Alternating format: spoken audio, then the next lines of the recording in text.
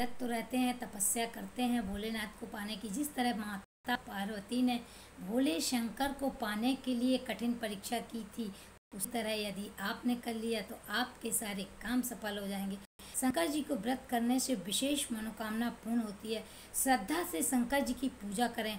विवाहित महिला सुख शांति के लिए व्रत रहती है और माता पार्वती की पूजा का व्रत आप यदि कर लेते हैं तो माता पार्वती की तरह भोले शंकर को आप भी प्राप्त कर लेंगे। सुबह शाम आपको विशेष रूप से भोलेनाथ की पूजा करना है, तभी आपको फल प्राप्त होगा और तभी आपका व्रत पूर्ण होगा। सूर्योदय के बाद पूजा करना है शाम को और सुबह आपको विशेष पूजा भोलेनाथ की करना है। अभिषेक करना है, फूल, फल, मीठा, आरती, हवन, स्वच्छ जल से बाबा को स्नान कराना है, सच्चे मन से भोले भंडारी की पूजा करना है तो देखिएगा, शीघ्र नौकरी, शीघ्र विवाह आपका हर कार्य सफल करेंगे। भोलेनाथ, व्रत करने से मन के मुताबिक सारी मनोकामनाएँ भोलेनाथ पूर्ण कर देते हैं। बस श्रद्धा भाव से भोलेनाथ का पूजन करें। ओम नमः शिवाय।